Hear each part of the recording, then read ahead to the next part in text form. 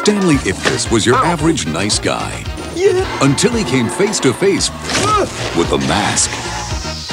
Okay. Now he's America's looniest human cartoon. Thank you very much. He's slap happy, That's hurt. eye popping crazy.